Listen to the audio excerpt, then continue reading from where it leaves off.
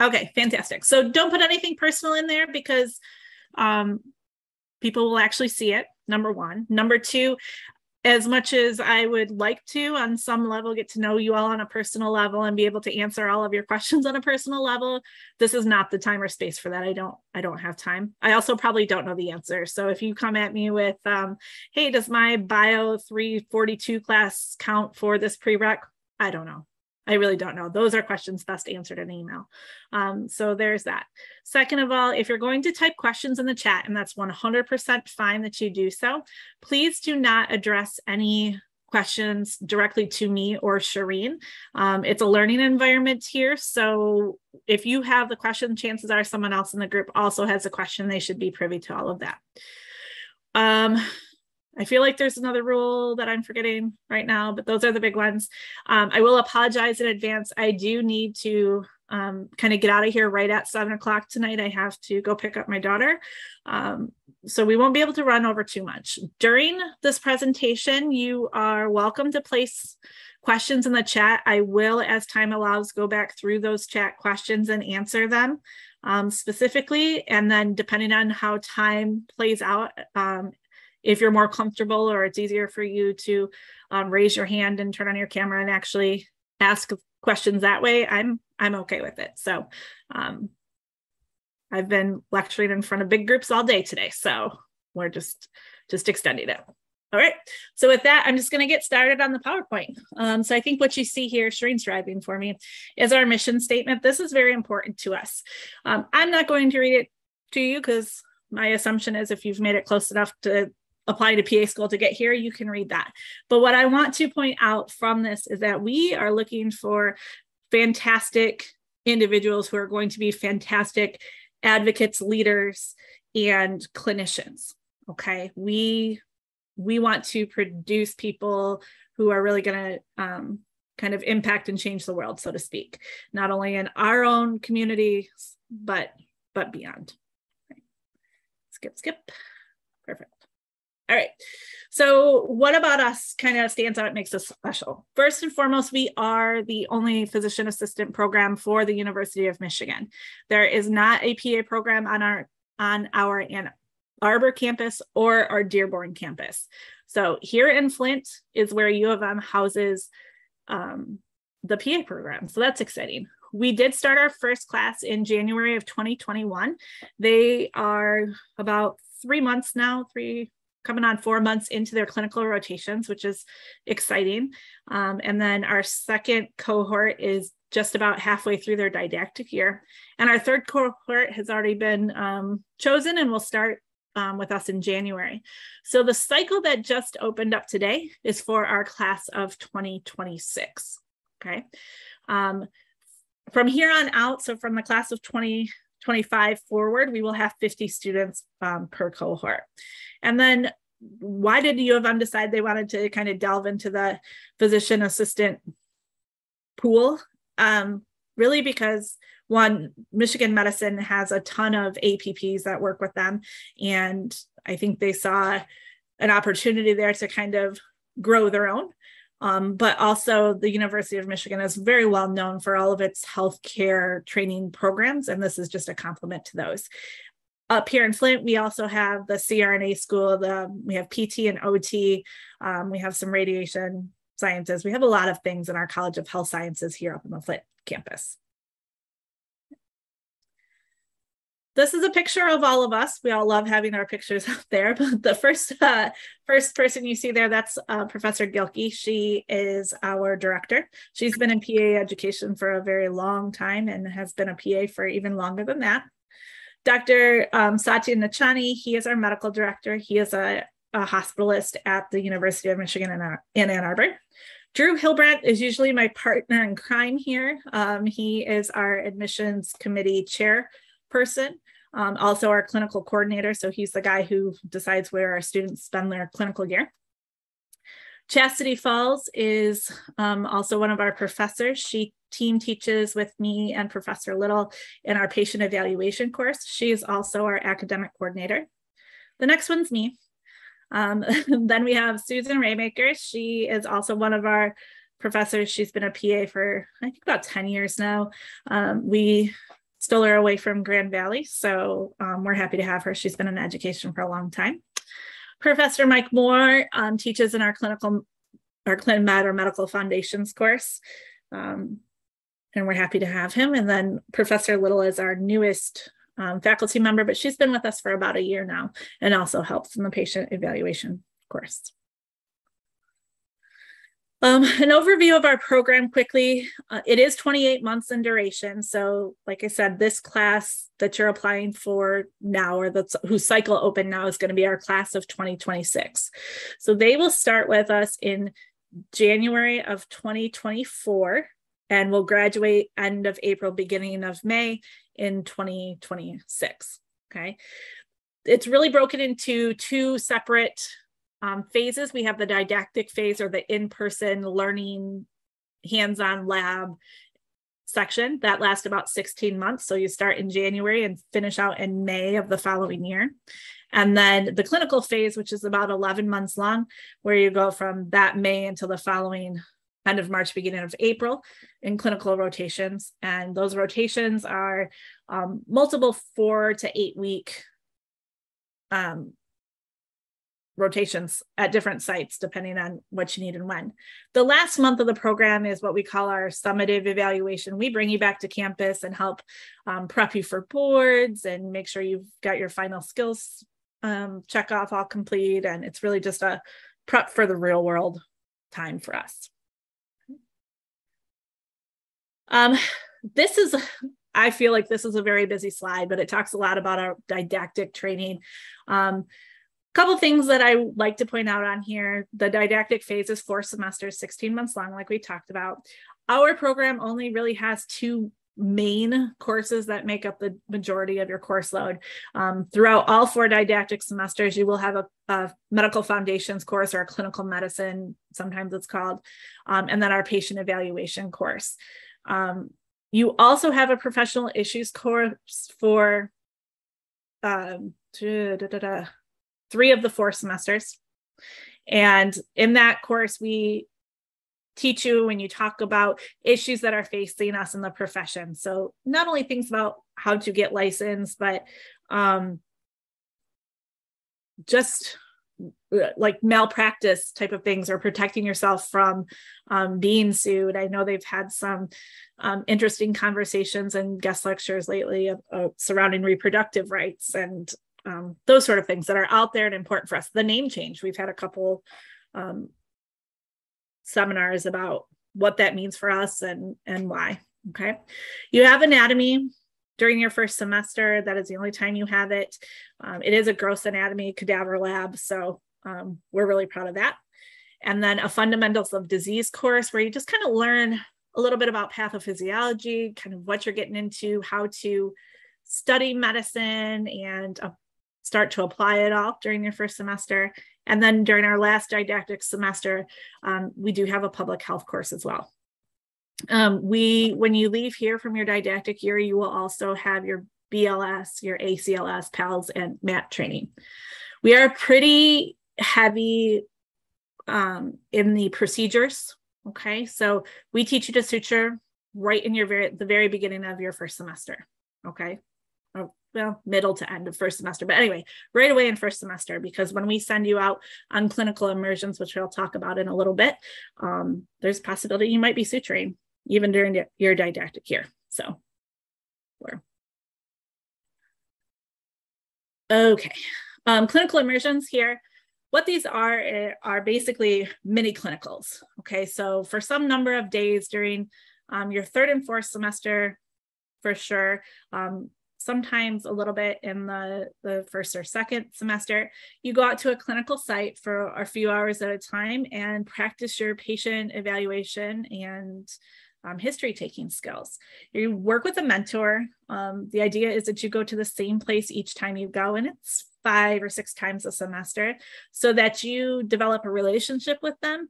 And we really think that this is important because um, it helps having a mentor, someone you can ask questions to outside of faculty, but also all of those those jitters and nervousness and whatnot that comes with starting clinicals for the first time um, we get to work those out a little bit ahead of time. So you've got a little more confidence when you get into your clinical year. And then we also throw in some additional um, random kind of but interesting and useful trainings like our addiction medicine counseling so you will actually go to one of our um, addiction treatment centers here in the area and interact with some some people and um, hopefully learn from that experience as well interprofessional activities so um, PAs and really any healthcare provider, do, we don't exist on islands. Okay. We all have to work together to provide appropriate patient care for those who need it. So we have um, a couple opportunities to do that. We do have the College of Health Sciences HEART or CHS HEART. HEART is an acronym, it stands for Health Equity Access Research and Teaching, I think. Anyway, um, eventually it will be a fully operational, hopefully, pro bono clinic. Either way, it's a place right now where people can go um, and they're getting PT, physical therapy, and occupational therapy there um, pro, on a pro bono basis. And we are working hard to be able to provide medical care um, in that capacity as well for our community. And then local community engagement. Um, the wonderful thing about Flint is there's such a great need here. And there's many, many opportunities um, for us to be involved in our, our community and um, provide service learning opportunities for our students. Um, during the first, uh, during the clinical phase, um, you're gone for about 11 months. The clinical sites range all across Michigan and some even up in the UP.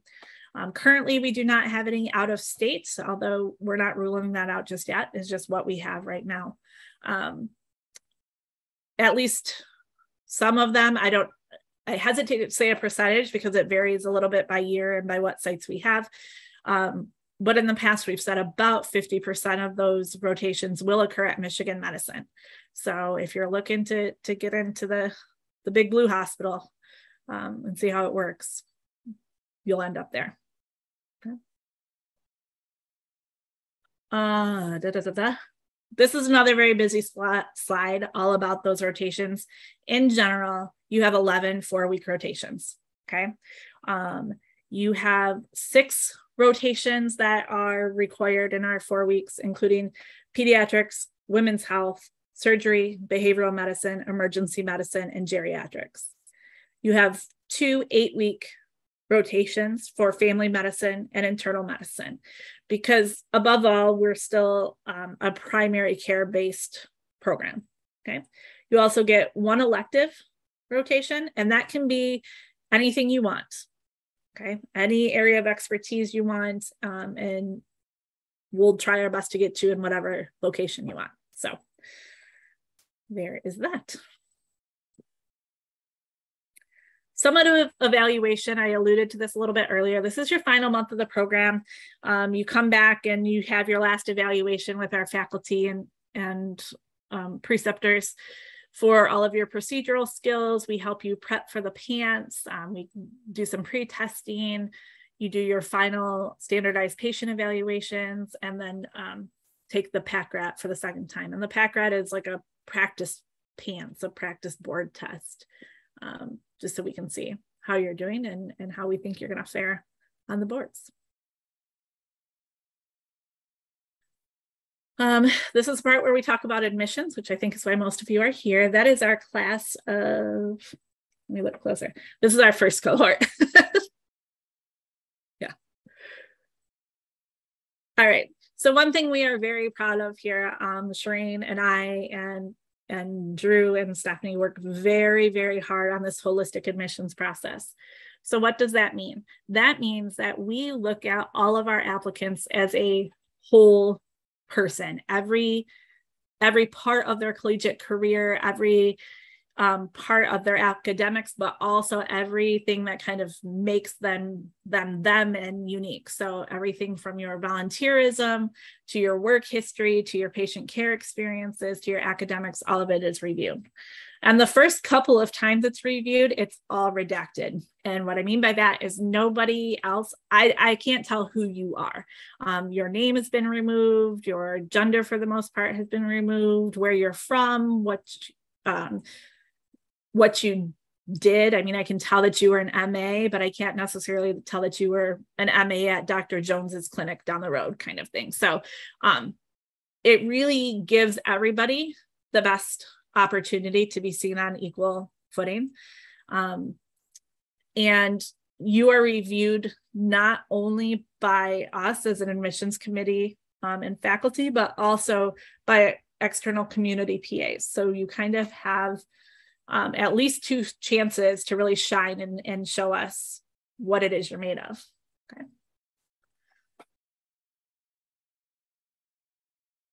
All right, the requirements are here. These can always be found on our website, but you do need to have a bachelor's degree from a regionally accredited college or university.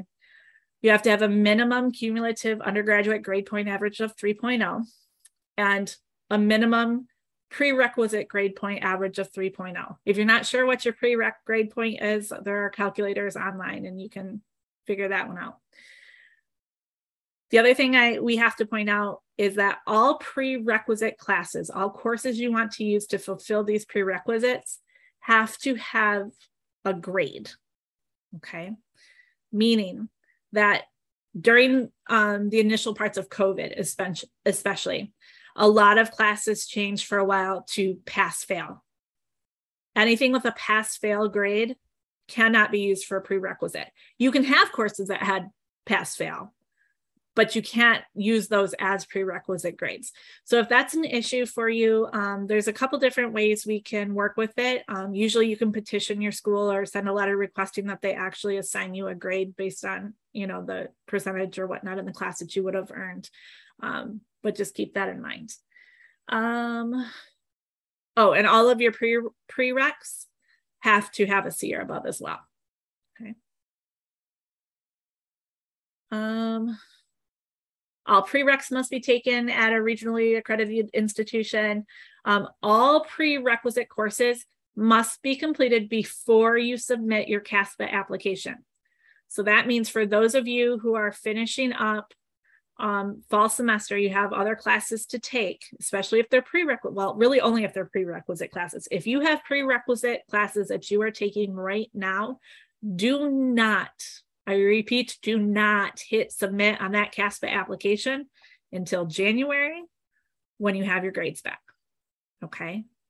Don't do it because we can't go back and fix it. We can't go back and add it in or um, reopen your CASPA application or anything like that. So please do not submit until all the prereqs are completed.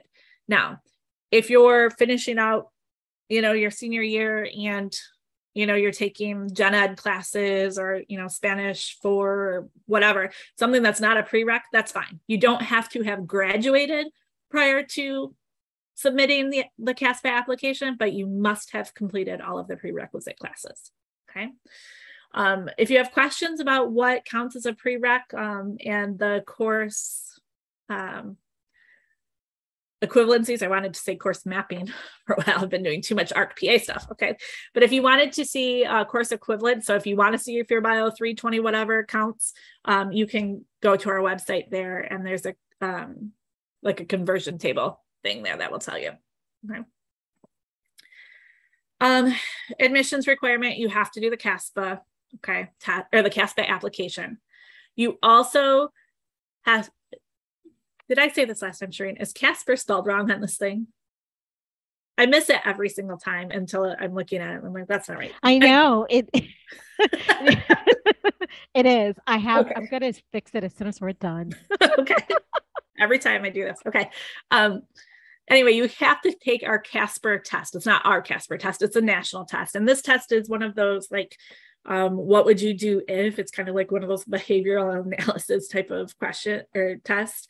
Um, but you do need to have that complete as well um, prior to the closing of our cycle. So our cycle now runs from september 1st so it runs from today until march 1st and that is every year. So if you're not applying this cycle and you're waiting to apply next cycle that's fine. September 1st to march 1st of the following year and it just will keep going like that um, for some amount of time. Now, the Casper test does take a little while to come back. So um, if if you're trying to wait for the last one, the last one is in the beginning of February, right, Shireen? I forget yes. the exact date, but it's somewhere in the beginning of February. It's um February 15th, I'm positive, or 17th, but one of those days. but okay, so right there.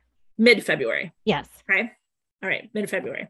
You also need to have three letters of recommendation. They can come from whoever you think is going to represent you well.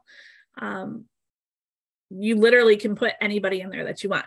Now, pro tip if I were you and I was applying for PA school, I would um, select people who have some experience with um, my healthcare hours and know what how I interact with patients a little bit or, or people in the public.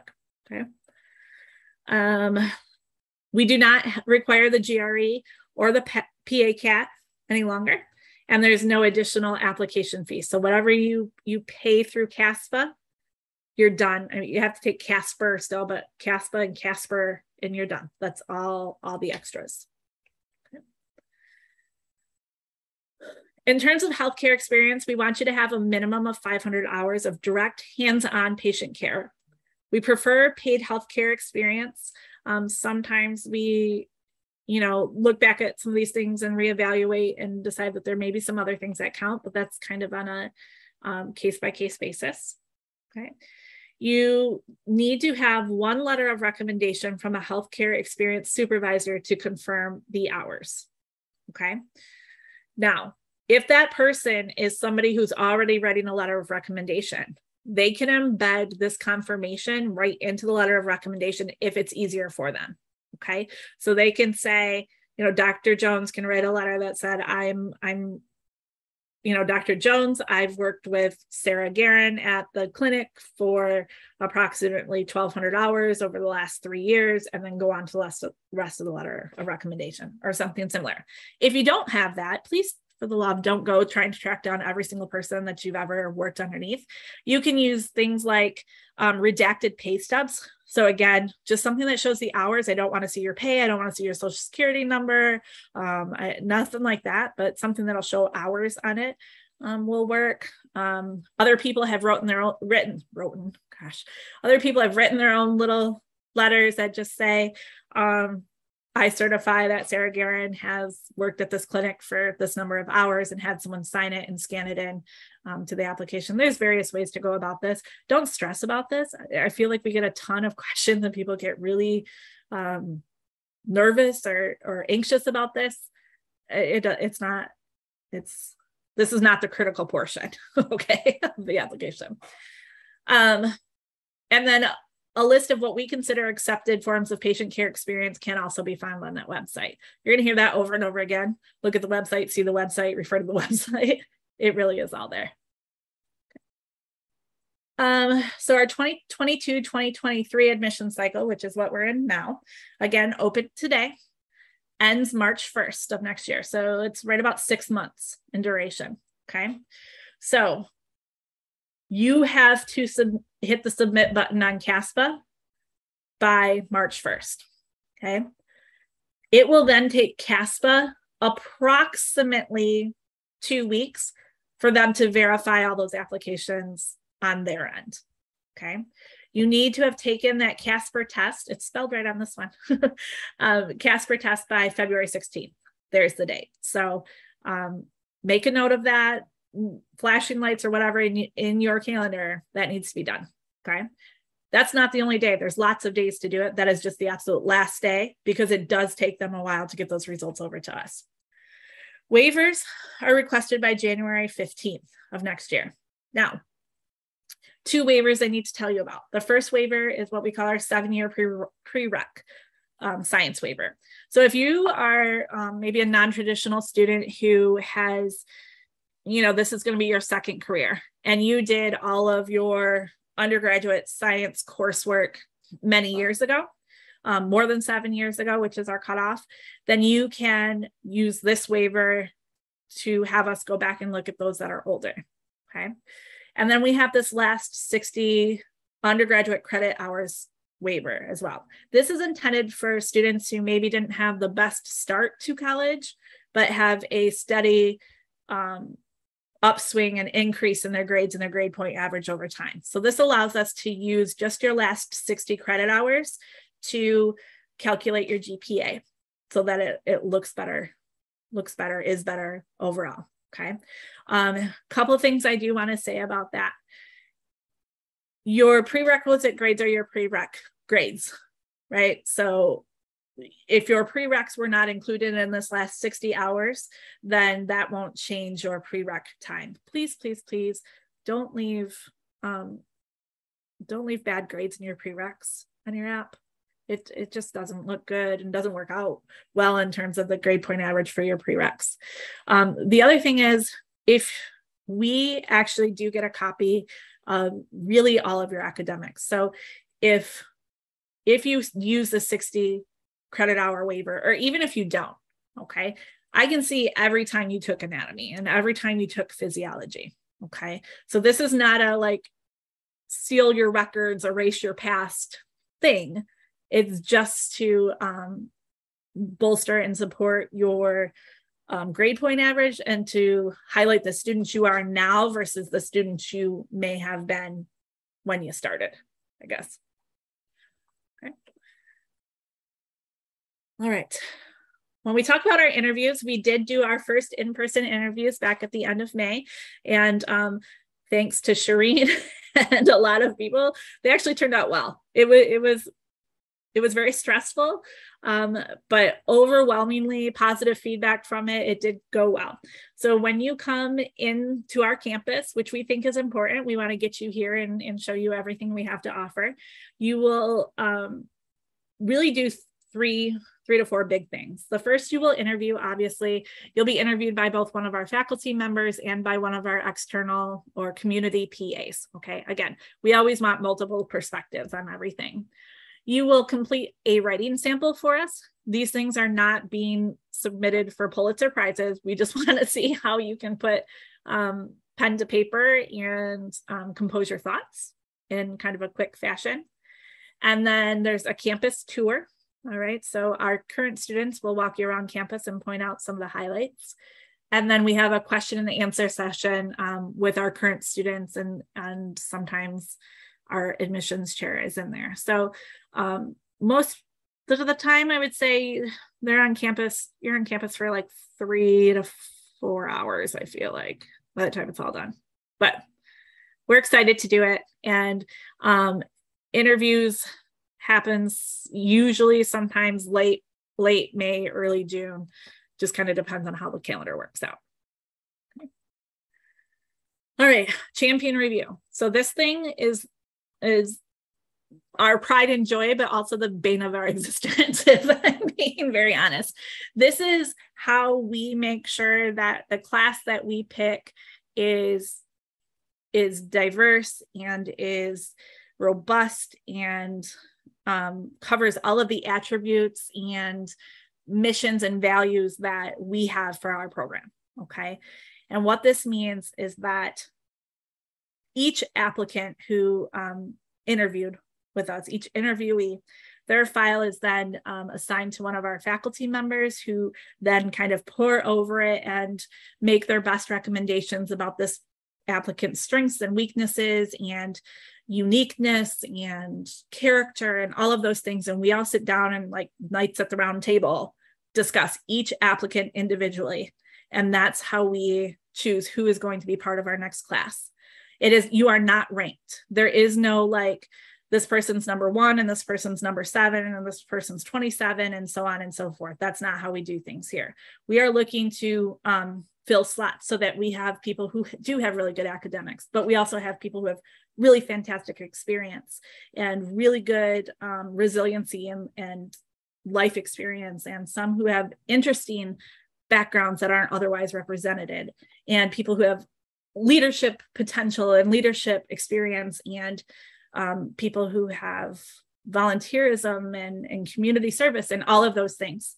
So we have to talk about everybody. That's what we do. And it takes us hours and hours and hours to do, but I think that in the end it is worth the the process. And um, that's how we do things in our, in our champion process. So we are always looking for what we call transformative people, people that are going to change the world, impact their profession, their communities, their patients, um, just the the total package. Okay. All right. Uh, this is a general timeline of our admissions policy. Um, knock on wood, so far we've been pretty good at staying pretty close to it. But in general, again, September 1st, today, the application cycle open. It closes in March. About March 15th is CASPA will have finished doing its thing. And April and May will be our big time for application review. Um, people are notified eh, three to four weeks usually ahead of time if they've been accepted for or if they're going to get an invitation for our interviews. Our interviews happen roughly June. Our goal is to have our class, um, the people we've selected for our class to be notified by mid to end of July so that starting in like August and September is kind of the background work where we're getting people set up with the university to, you know, like getting your student accounts generated and, and paperwork stuff behind the scenes. And then starting in November, we start bringing you to campus a little bit for some orientation and, and making sure your, you know, financial aid is set up and, and those kind of things. And then you'll start in January of the following year. So it's a pretty, I know it seems long, it feels long when you're an applicant, um, but it's a pretty quick process overall. And that is it in terms of this PowerPoint. So we're going to leave this slide up for quite a while. That email there is, is going to be your lifeline. So any questions you have can absolutely get referred to that email. Um, Shireen gets most, if not all of them, and she's fantastic at, at, at um, helping you out there. The website is also priceless. Most of your questions can be answered from there. That's where the course equivalencies and what kind of healthcare hours we take and all that stuff is, is there, as well as bios and other things. So I'm gonna look at the chat because it looks like there's a few questions in here and then uh, we'll go to open questions if, if time allows. Okay, so let's look. Um, we are not still offering the fee waiver for attending this info session because there's no more fees. Um, is there a template of a letter that needs to be signed or can we make up our own for the employer to sign? You can make your own. There's, there's not really a template that I'm aware of. What interview format do you use? It's one-on-one -on -one interviews. So when you're interviewing with a community PA and with our faculty PA, it's it's one-to-one. -one. How are master's programs factored into the application process? Thank you. Uh, we look and we see that you have one, but we don't count any of the grades. The, the coursework does not count. If you do post baccalaureate without actually being in a master's degree program, we do count those and look at those. Okay, those do affect your cumulative grades and the 60 credit hour waiver thing. Um, what percentage of individuals in the PA program do the dual degree uh, MBA program? Well, you have to remember our first um, cohort is just now out in clinical, so they're just in their second year. The way that that dual program works is that you complete PA school. So the first 28 months you complete PA school, and then you move into the MBA program for the fine for the next year and a half or two years. It cuts about a year off of the MBA program and saves the tuition related to that. But I don't know for sure who's applied for it, but I do know. Last I knew, there were three that were pretty interested in, in very strongly considering it. So it's a it's a low percentage right now, but um, we're excited to offer it, and we think it's a, a good thing, and it's definitely there for people um, who are interested. Do you partake in rolling admissions? No.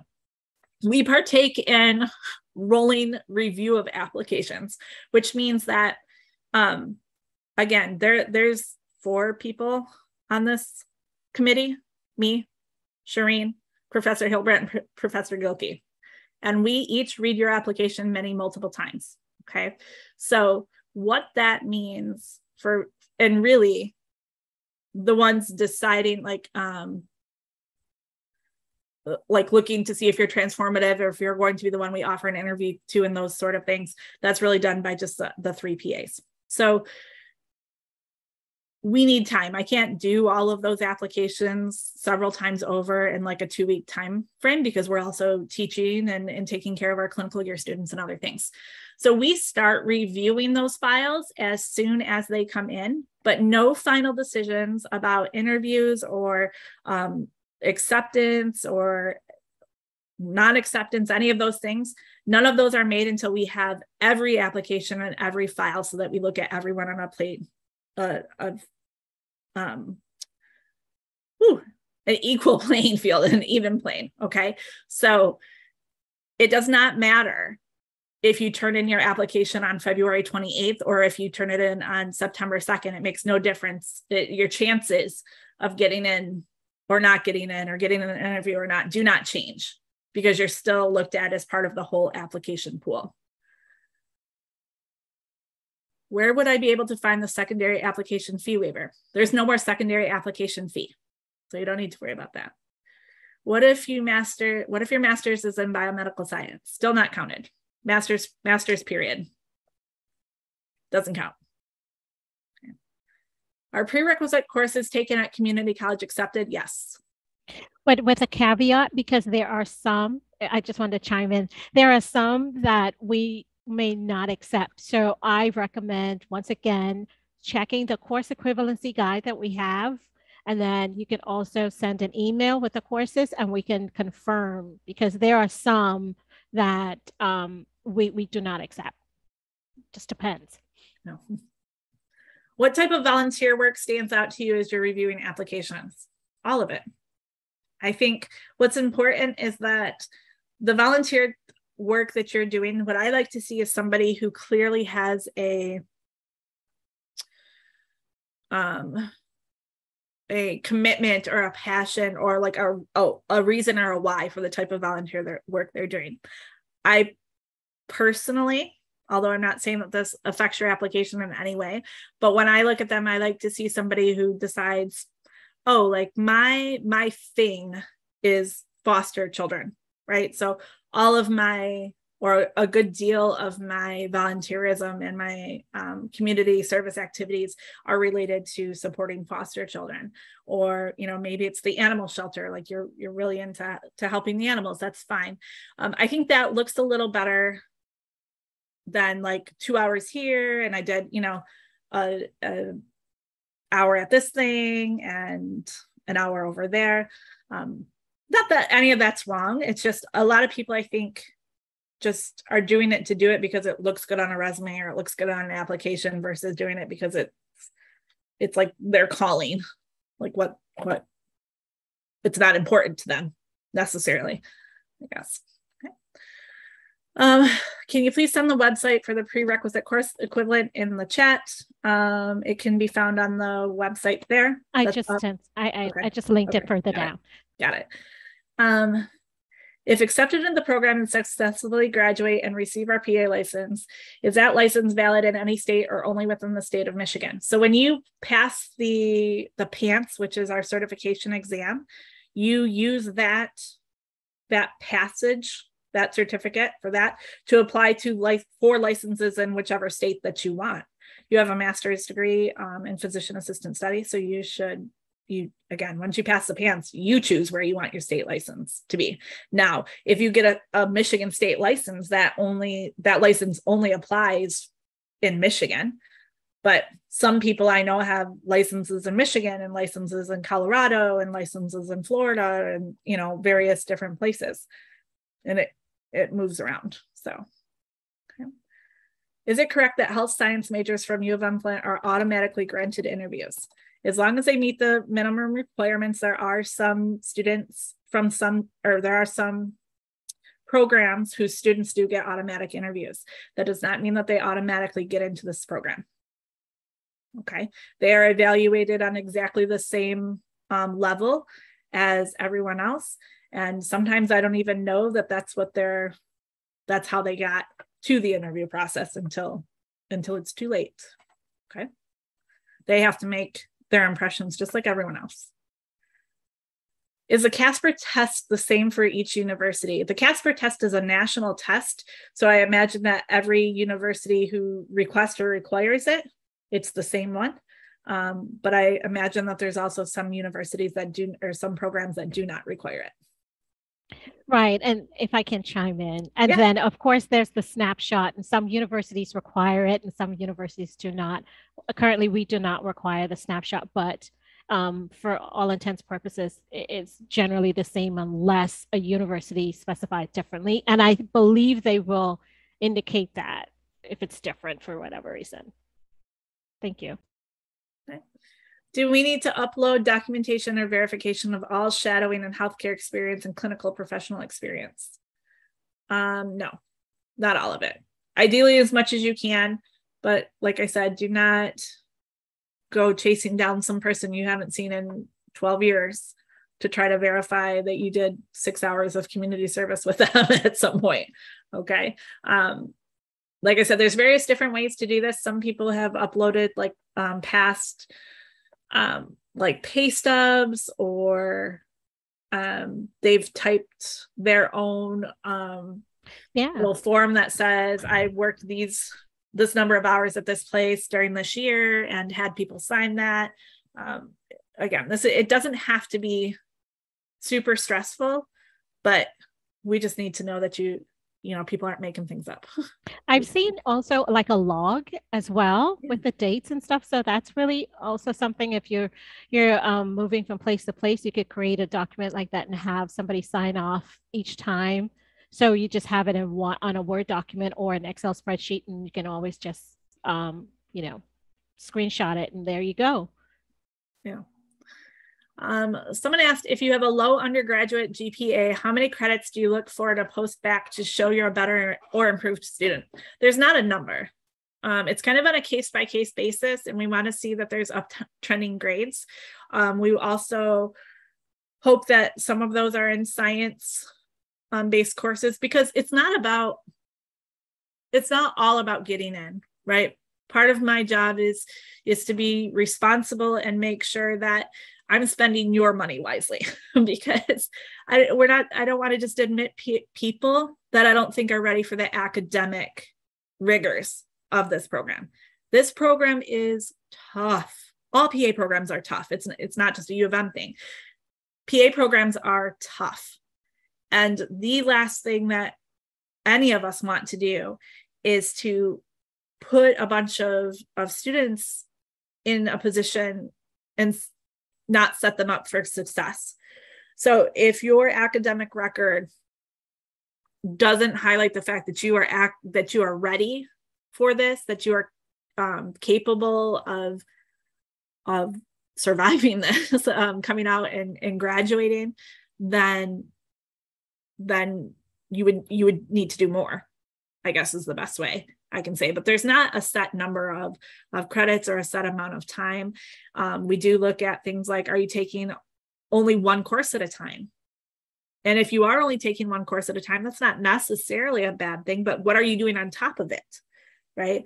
Because we also look at what other things are you doing outside of the classroom because maybe you're only taking one or two courses at a time and you're doing okay but you're also um, working full time and doing all of this volunteer activities and taking care of your sick grandma you know i mean there's lots of things that go into it. I it, it's too much to say one way or another. It, it just is a very situational thing. Um, can i please discuss the research course that an individual takes during the didactic year? Do you choose what type of research you do?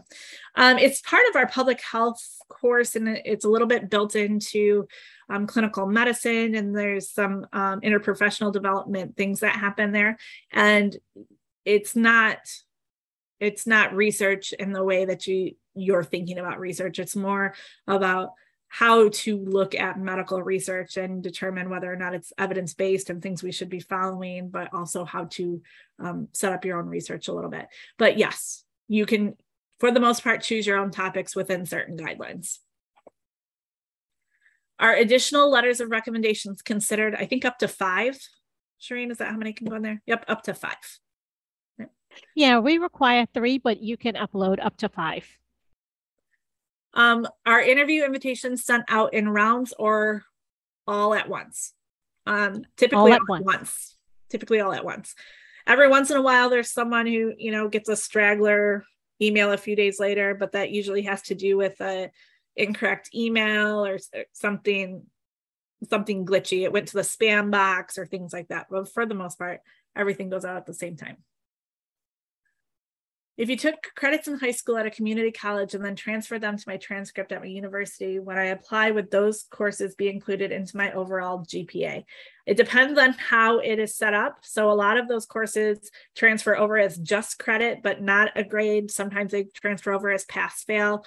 Um, again, if you want um, someone to weigh in a little more specifically than that, please email um, the email there and let them work it out for you.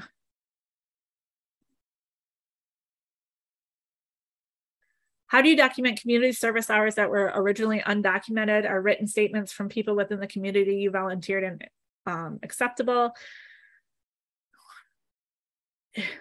Honestly, this is one of those instances where, unless it's a significant amount of hours, I would probably just put it on your CASPA application and not worrying, not worry about like documenting it, right? Like I don't expect you all to go to the Relay for Life people from 2011 and have them certify that you were there for five hours. They're not going to remember, right? So um, do your best. That's all we can ask. And I think I've reached the bottom of this chat. Is there anybody who has any questions they want to ask in person, or now's a good time to throw some questions up in the chat box that I can read? Yes, we have about 10 minutes left, so um, feel free to chime in.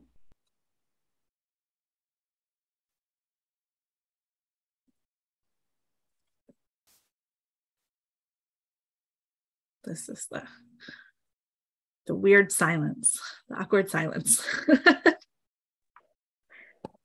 um, um, so I'm just going to ask a quick question. I can just barely hear. Is that Kaylee talking? No, my name is Asifa. Oh, okay. And um, I'm actually at work right now, so I don't have my um, radio on. But um, the question is I live in Novi, and the drive is about an hour. So during the clinical year, um, do you consider um, like placing us into clinical rotations close to our home? Or how many times do we um, you know go back to campus during the clinical rotation? Or is it every day? How does that work? You go back to campus during the clinical year uh, kind of depends on what rotation you are but um, usually about once a month okay? Um, sometimes it'll be once every eight weeks. It just depends on what rotation um, you're just getting off from um, and then in terms of where you end up in your clinical rotations, we, we being Professor Hilbrand, does sort of take it into consideration like where people live. We don't want people driving four hours every day to get to to or from a site. We really don't. However, we are also at the mercy of what clinical sites we have available okay and what your schedule requires what you've already done what rotations you still have to do. So um we are in no way shape or form promising anybody that they're always going to be within you know a certain mile from home or a certain drive time. So you are at the at the whim of what we can provide. Okay. Sure thank you so much. You're welcome Okay. Any interview tips? I always think be yourself, right? Um, for anything that you're going to interview for, whether it be PA school or a job or whatever it is, I think it's important to always be yourself. I think also it's important that you um, always know a little bit about the place that you're going to interview for and have an idea of why you think you fit into that program or that place's culture and goals and mission and and all of those things. And really just make sure that that's the place for you. Applying for pa school and interviewing it's kind of like dating right? There's there may be a lot of them out there that you like. There's only really one that you want to marry okay hopefully. And uh, you're going to spend a lot of time in pa school monday through friday 8 to 5 for 16 months of your life at least here and pay $100,000 ish to do it. So make sure you pick the right one. Okay. Um, if I have two degrees and I apply for the waiver, does it apply to the last degree as far as the 60 credit hours? Um, it applies to your last 60 credit hours. So I, if the second degree is a master's degree, then then no it won't apply to that. If the second degree is another bachelor's degree or some post baccalaureate situation, um, then the last 60 are the last 60. Um, is it recommended to work during the program? No, I can't. Uh, I can't officially tell you not to work during the program. Okay, that's not within my um, powers to do so. What I will say is, again, you should plan on being in class and or studying Monday through Friday, eight to five. Okay, and then most PA students, um, on average, statistically, whatever you want to say, spend about 30 week 30 hours per week outside of the classroom studying. So if you have to work, I would hope it would be in something that is going to further your knowledge base. Okay. If you don't have to work, you probably won't want to, because any additional time you have, you should spend um, with your loved ones, with your hobbies, with doing nothing, relaxing. Um, how much do PAs get involved in clinical research? That depends on what type of PA you are and how interested you are in clinical research.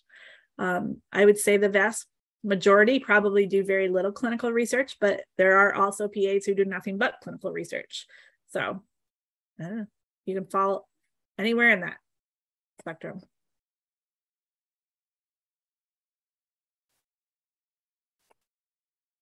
Okay. That looks like it, I believe we are. Oh. I'll do specialization. Here's one more. Is it seven? We got five more minutes. So five minutes.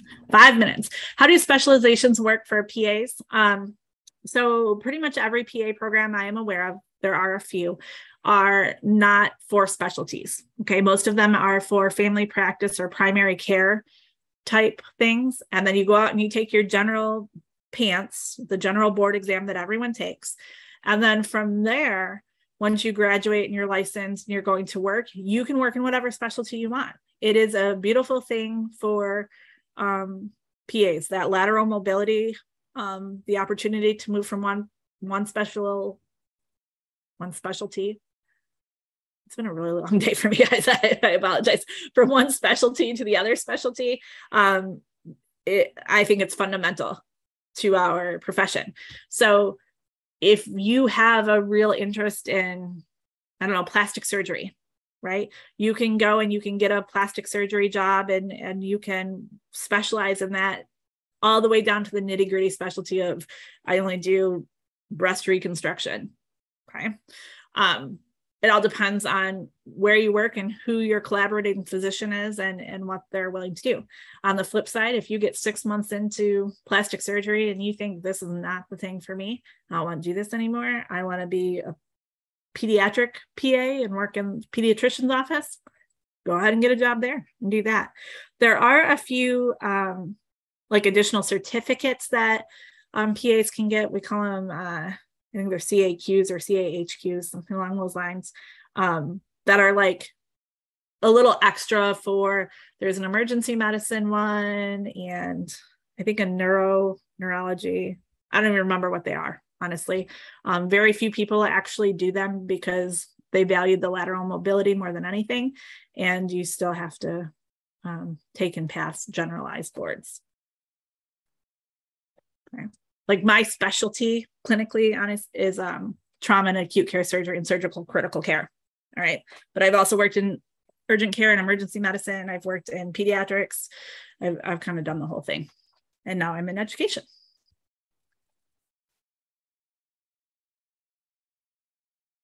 All right.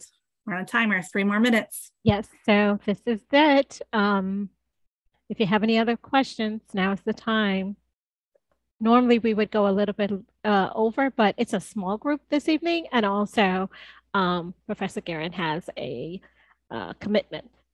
So All right, it looks like we don't. So once again, thank you all for joining us. And um, if you have any additional questions, feel free to go ahead and send us an email. Usually between now and you know the next two days after a webinar, we are inundated with questions via email. So just be patient with us. We, um, we'll get to those. Um, and if you have um, if you're local to the area, we also have an open house that's coming up as well on September 22nd.